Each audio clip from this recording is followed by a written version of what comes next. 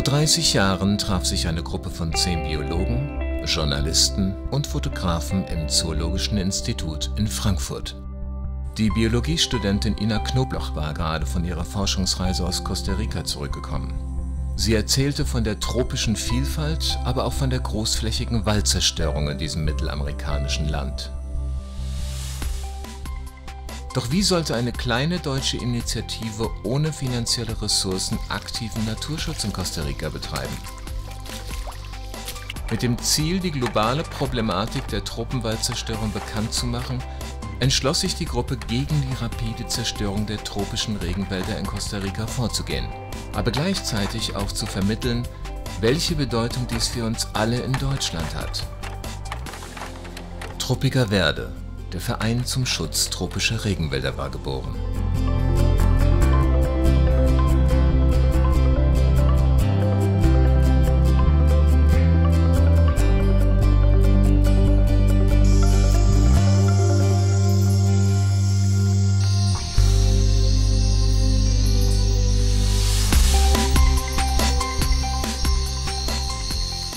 Auf einem Versuchshektar gerodeten Landes in North Thara auf der Nicoya-Halbinsel wurden heimische bedrohte Baumarten in Mischkulturen angepflanzt. Dort konnte gezeigt werden, dass im Gegensatz zu Teak- und Pochotte-Monokulturen auch eine ökologische und nachhaltige Holzwirtschaft möglich ist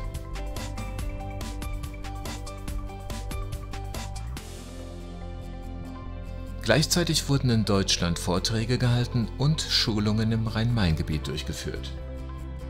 Lehrern und Schülern wurde vor Augen geführt, wie wir als Konsumenten durch ein bewussteres Kaufverhalten einen wichtigen Beitrag zum Erhalt der Tropenwälder leisten können. Ein Hilferuf aus der Karibikregion in Costa Rica erreichte den Verein in Form eines handgeschriebenen Briefs ein 70 Hektar großer Primärregenwald und wichtiger biologischer Korridor zwischen dem Kekoldi-Indianerreservat und dem Naturschutzgebiet Gandoca Manzanillo sollte verkauft und unwiederbringlich zerstört werden. Der Absender des Briefs, Thierry Mongel, bat Tropica Verde um Hilfe. Buscamos ayuda localmente en San José y no encontramos y no sabíamos qué hacer y esa finca estaba como ya eh, perdida. Y bueno, milagro, así como son las cosas. Una semana antes de que empezaran los trabajos serios de deforestación, tuvimos el contacto con gente de Trópica Verde y entendieron muy bien que esa finca era la llave de, de la protección de esta zona. Dann ist, damals Leute aus dem Vorstand nach Costa Rica geflogen, haben sich das angeschaut und kurz entschlossen, ja, das Grundstück ist so wichtig, wir müssen das erwerben, wir müssen es vor der Abholzung schützen. Pero sin esa, esa, finca Curry que está en el medio, que está sobre el, el, filo principal, que es como la reserva de todas las aguas del bosque de aquí, eh, el futuro de, de, de, todos los alrededores estaba muy comprometido, ya podíamos ver qué pasaba. Als die Leute dann von Costa Rica zurückkamen und das vorstellten, was sie dort vereinbart hatten, waren die restlichen Vorstandsmitglieder hier erstmal quasi wie vor den Kopf gestoßen, denn wie sollte es finanziert werden? Der Erhalt dieses wertvollen Primärwalds war gesichert, die Finanzierung aber nicht.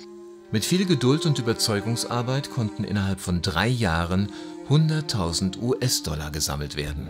Aber gleichzeitig kamen die ersten Gegenstimmen, die das Vorgehen Tropica Verdes als Ökoimperialismus bezeichneten. Sehr früh stand der Verein auf der Kippe seiner Existenz und Glaubwürdigkeit jetzt nicht so, dass wir äh, dahin gehen und sagen, okay, wir kaufen das Grundstück oder wir machen das. Ihr richtet euch nach uns. Wir kaufen das Grundstück beispielsweise und umzäunen es. Das wäre so der klassische Öko-Imperialismus. Das wollen wir gerade nicht, denn es geht ja darum, dass die Leute vor Ort eingebunden werden, dass die Leute vor Ort sensibilisiert werden für den Umweltschutz, für den Tropenschutz und für die Schätze, die eben der Urwald, der Tropenwald bietet wenn die Leute vor Ort nicht eingebunden werden in die Projekte und nicht sensibilisiert werden für die Schätze, die der Tropenwald und die tropischen Regionen zu bieten haben, dann bringt das Ganze nichts. Vor allem die projektbezogene Einbindung der lokalen Bevölkerung durch die Schaffung von Arbeitsplätzen mit sozialer Absicherung konnte jedoch alle Gegenargumente entkräften. Am Ende dieser turbulenten Zeiten waren schließlich alle Kritiker überzeugt, dass der Erwerb lokaler Landflächen die nachhaltigste Form des Umweltschutzes darstellt.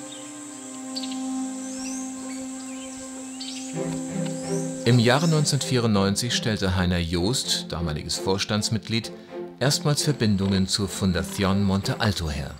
Nachdem aufgrund massiver Abholzung die lokalen Bachläufe ausgetrocknet waren, die der Gemeinde in Ochancha als Trinkwasser dienten, war eine lokale Initiative entstanden, um die Region unter Schutz zu stellen.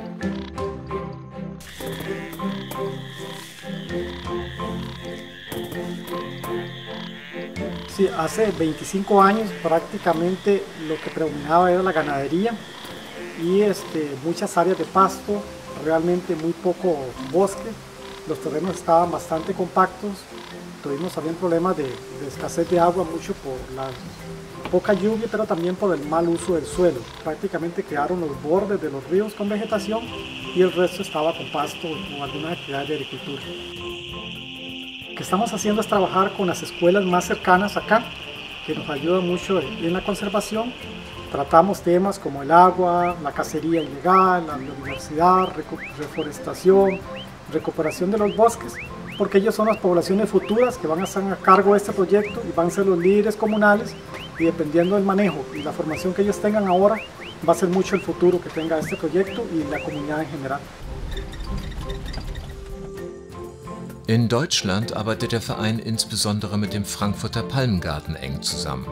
Im Tropikarium wurde im Bereich der Trockentropen ein Monte Alto Beet eingerichtet, das die Pflanzenarten aus der Projektregion widerspiegelt.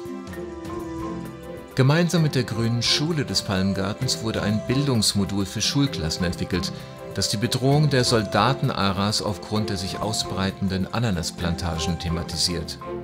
Auch bei dem Wunsch nach CO2-Neutralität von Schulen hilft Tropica Verde. Ein Beispiel ist das langjährige gemeinsame Klimaprojekt mit der Frankfurter Gesamtschule IGS Nordend.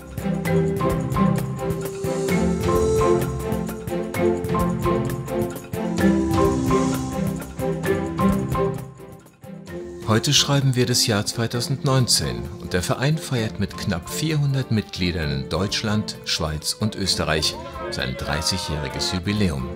Neben dem Fokus Umweltbildung sind bereits über zehn Schutzprojekte in Costa Rica erfolgreich umgesetzt worden. Unsere Artenschutzprojekte für den Erhalt der großen Soldatenaras starteten bereits vor mehr als 20 Jahren. Tropica Verde schützt gezielt Brutgebiete, in denen Waldmandelbäume stehen, die als Nahrungsquelle für das Überleben der Soldatenaras von entscheidender Bedeutung sind. Así a simple vista ya puedo decir palabras muy buenas sobre la población de las lapas verdes y rojas. Ya llevamos veintitantos de años de trabajar con el proyecto Lapa Verde y ha mejorado la población en partes que hacía 40 años no se miraban lapas verdes. Hoy día nos llaman y nos dicen, mira qué bonito que las lapas han llegado aquí. Hemos visto 10, 20 un grupo comiendo título o otras especies. Entonces, para mí ha mejorado la población.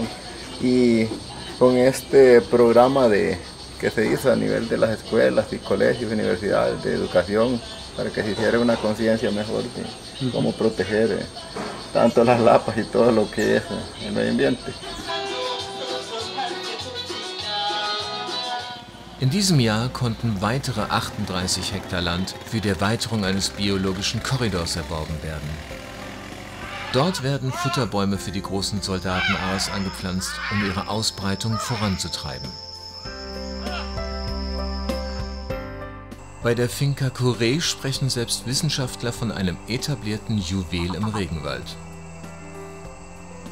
Fast 30 Jahre nach der Unterschutzstellung ist der Wald in einem sehr guten Zustand und vernetzt zusammen mit angrenzenden Waldflächen zwei weitere große Schutzzonen.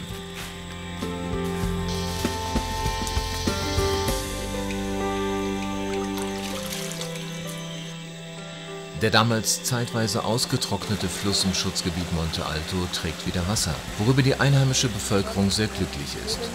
Die Menschen können 25 Jahre nach Beginn der Wiederaufforstung wieder durch dichte Wälder mit großem Artenreichtum wandern. Und die Bäche führen heute wieder das ganze Jahr über Trinkwasser. Im Projektgebiet gibt es ein Schulungszentrum für Schulklassen, Universitäten und interessierte Naturfreunde inmitten eines artenreichen Sekundärwalds.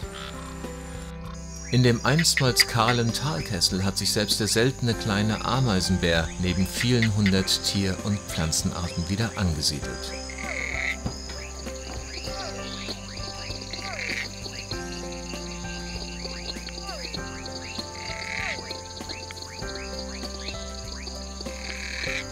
Die Entstehung und Aufrechterhaltung biologischer Korridore ist neben Umweltbildung in Costa Rica und in Deutschland eines der Hauptziele des Vereins.